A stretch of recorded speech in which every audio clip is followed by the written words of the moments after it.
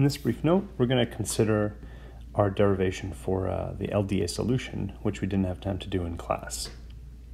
So remember that what we, uh, what we want to do now is find a low-dimensional uh, projection when we also have labels. So LDA is about finding a low dimensional representation using labels. I won't go through all the details because we did them in class, but the motivating example looked something like this.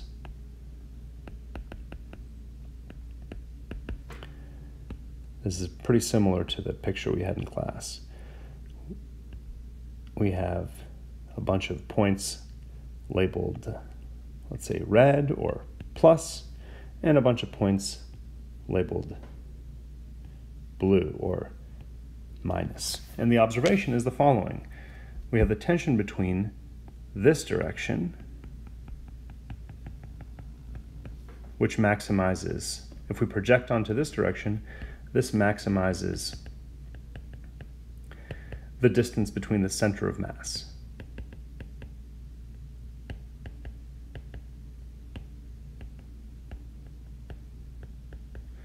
But if we project onto this direction,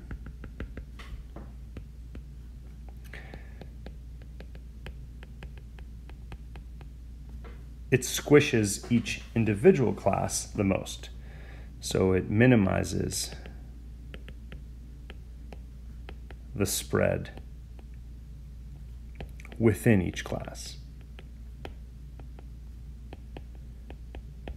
Which is which is what we want to do because we want to only keep information, we want to project away, in other words, from dimensions where there's a lot of spread within the class. What we'd like to do is find directions that maximizes the spread between, uh, between the classes. So what we found, uh, what we derived in class, we, um, we derived the Fisher criterion, which is the following. So we let SB be the matrix mu plus minus mu minus mu plus minus mu minus transpose, where this is the vector, this is the geometric mean of, uh, let's say, label plus, and this is the mean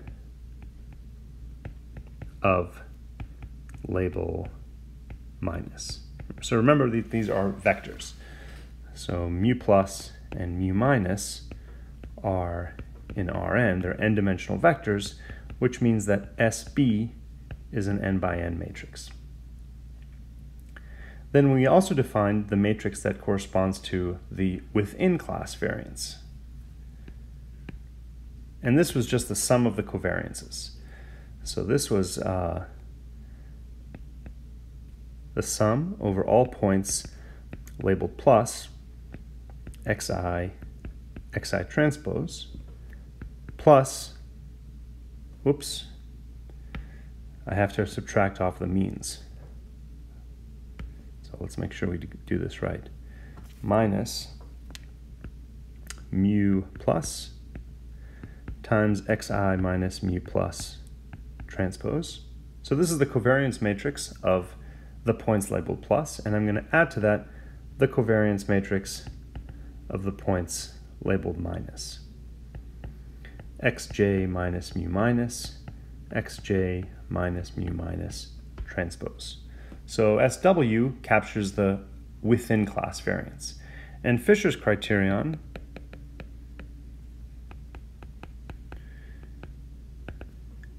is, we denoted this in class by J of V, so let's continue with that notation here.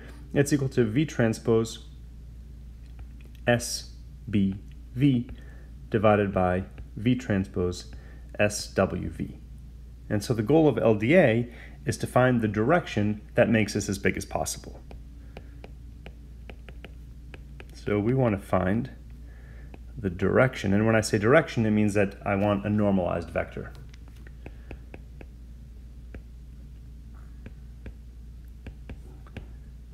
I want to maximize J of V.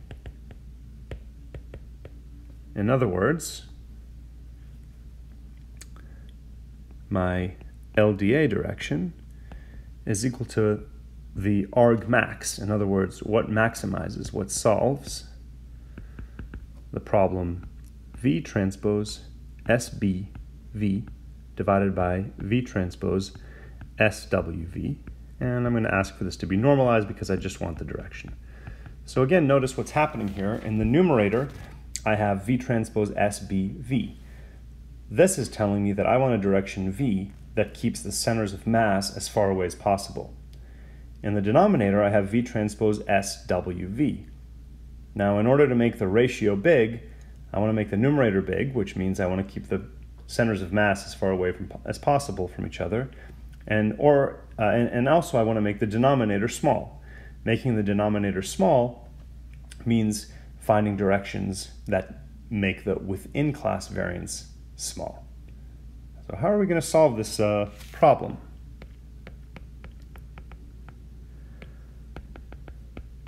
Well, first let's note uh, the following observation. So if you look at this uh, objective, it's scale invariant.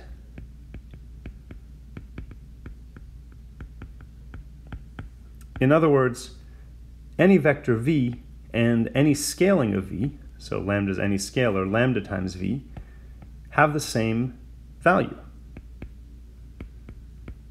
So we're going to take advantage of that to simplify this problem a little bit. So with a little bit of thought, you can see that um, if I solve the intermediate problem v hat, which is the argmax of v transpose SBV, subject to v transpose SWV equals 1, that then the normalized version of this is actually a solution to my to, to my to the problem that I care about.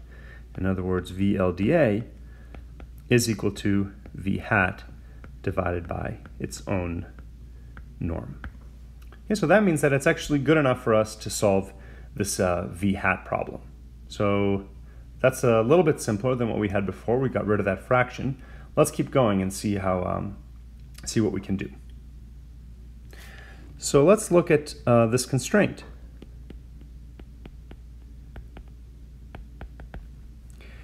V transpose SWV equals 1.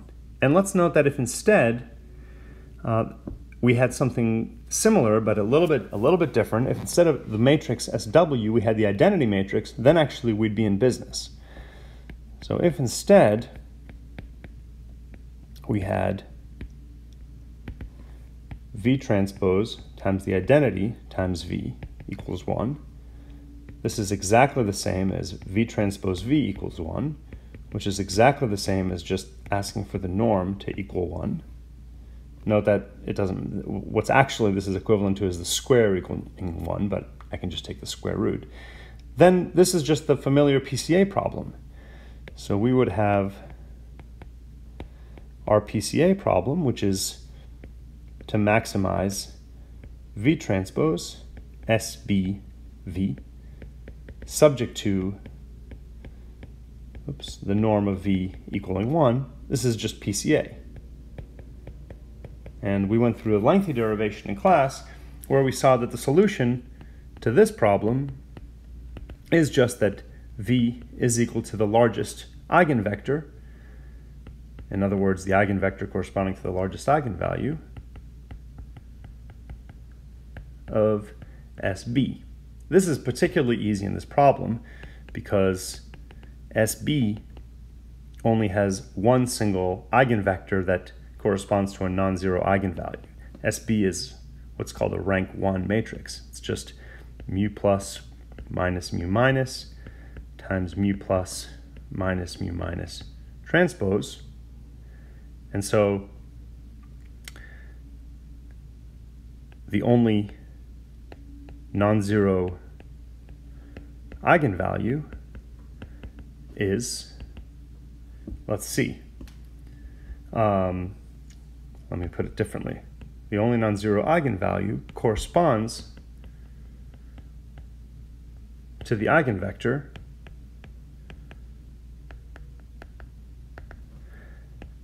mu plus minus mu minus. And let's see what that is.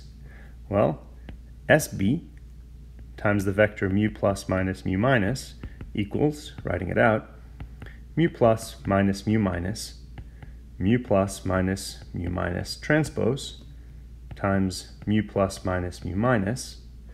This is equal to mu plus minus mu minus times mu plus minus mu minus squared. Or writing it in a different way, this is lambda times my original vector, mu plus minus mu minus, where lambda is equal to the norm squared of mu plus minus mu minus. So we've shown what, uh, what the solution would be. And so this means that v would equal, in this case, mu plus minus mu minus, that vector, but normalized, because all eigenvectors are, uh, by convention, normalized. Okay, so where, uh, where are we?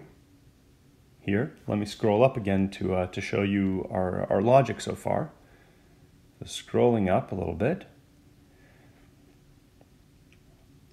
We've said that because of scale invariance, I need to solve this problem.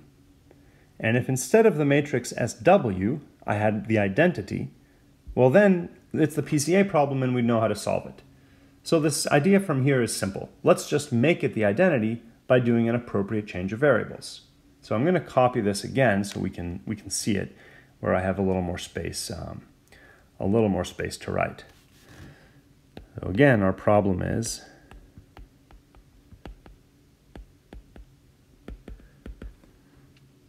maximize V transpose, let me clean that up, V transpose SBV subject to V transpose SWV equals 1. So we're going to do a change of variables. Now, to see what that change of variables is, first note that um, we expect that SW is invertible. So SW is the sum of two covariance matrices. It's the sum of the covariance matrix for all the plus labels, all the points labeled plus, and the, and the covariance matrix of all the points labeled minus. And as long as those points aren't already lying in a lower dimensional space, SW will be invertible. So SW is symmetric, like all covariance matrices. This is just the sum of two covariance matrices. The sum of two symmetric matrices is again symmetric. So this means in particular that its eigenvalues are real and its eigenvectors are orthonormal. We also know, as we've, we showed in class, that it's what's called semi-definite. This means that its eigenvalues are greater than or equal to zero, and it's invertible by the above argument namely that argument being that a covariance matrix is always invertible unless the points already lie on a lower dimensional subspace. So that means that, in fact, lambda i is strictly greater than zero. So now let's use something, our main hammer that we've used again and again and again when talking about symmetric matrices, the eigenvalue decomposition. The eigenvalue decomposition tells us that SW can be written as the sum of its eigenvalues times, let's see, shall I use V again? I guess I guess I will, but I don't want you to confuse this with the V. That's the uh, what I'm trying to optimize over. VI, VI transpose, where the lambda i's are the eigenvalues and the VI's are the eigenvectors, and remember that they are orthonormal. So VI has norm 1, and VI is perpendicular to VJ um, for every i different from j. Great. So this tells us, first of all, what the change of variables should be and how we should accomplish it. So let's, we're going to do the following change of variables. Z is going to equal the square root of SW times V, which is the same as writing that V is equal to the inverse square root of W times Z. Now, how this eigenvalue decomposition helps us is it guarantees us that this matrix square root and its inverse both exist. So please check for yourselves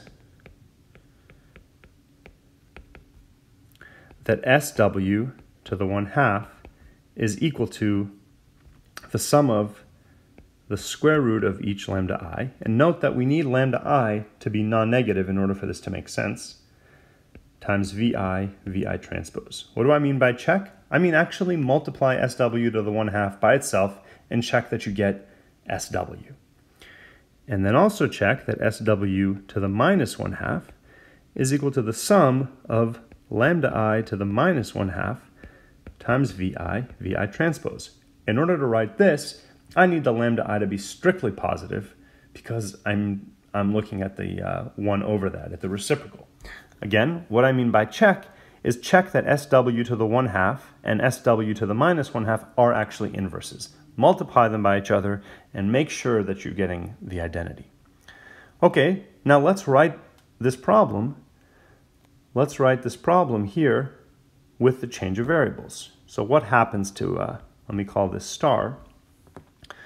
So uh, maybe it's best if I just copy it, copy it again. So let me, let me do that with this change of variables. I'll leave that at top. So again, star is equal to the problem maximize V transpose SBV subject to V transpose SWV. Now let's plug in for what V is. V is equal to SW to the minus 1 half Z.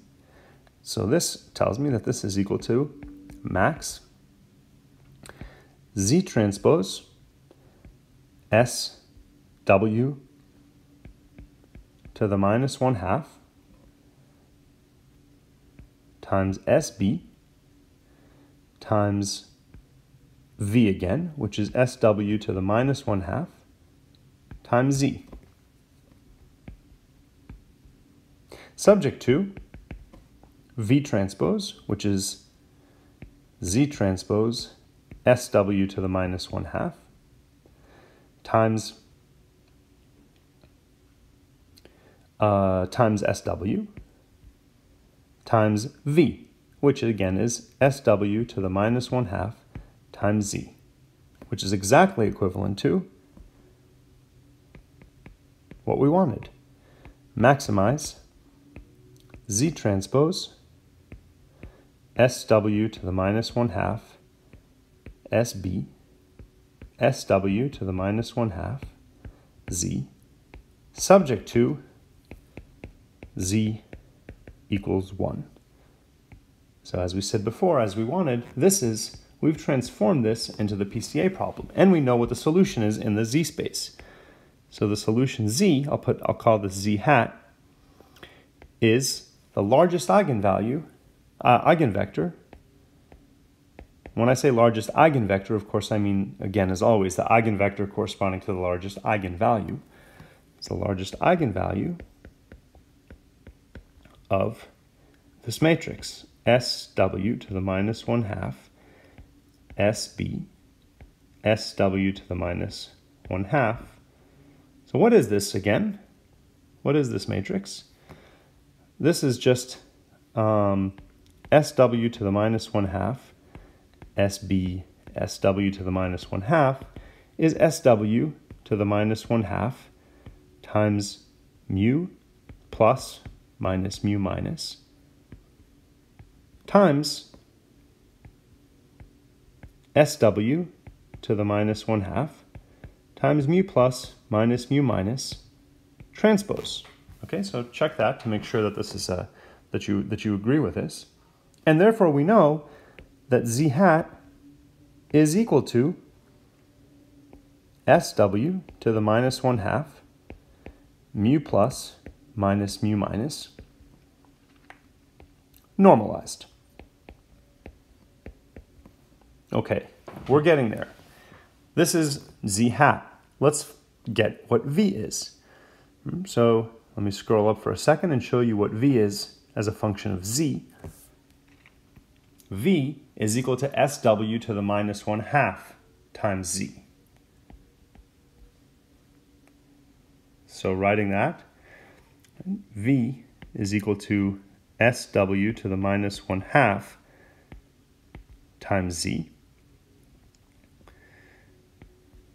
So it equals sw inverse times mu plus minus mu minus,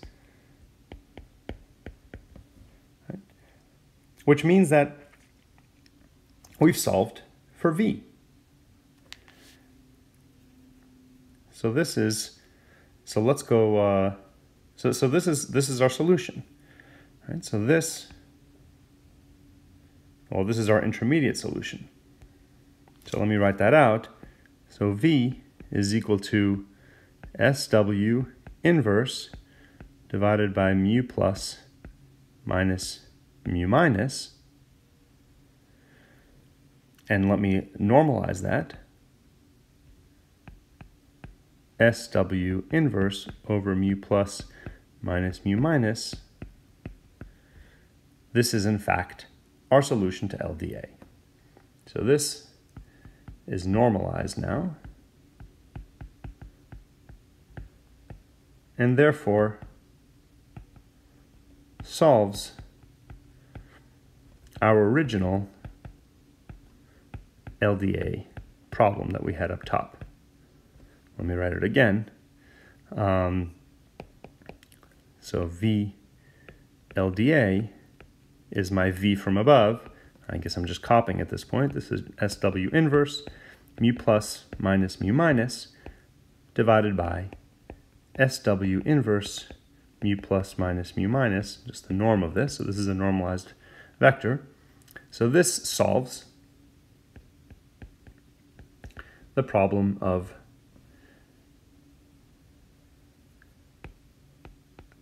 maximizing V transpose SBV divided by V transpose SWV subject to V equals 1. What are the key properties this, that we used? We used 1, the fact that SB is rank 1 and has only one eigenvector corresponding to a non-zero eigenvalue. We use the fact that SW is invertible and because it's symmetric and positive semi-definite, it has a square root and also a reciprocal square root. So these are the main ideas. And of course, we used our solution to PCA.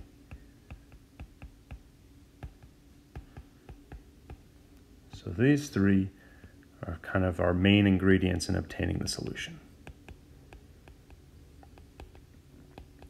I hope this makes sense, and I encourage you to look through um, the details and things that I ask you to check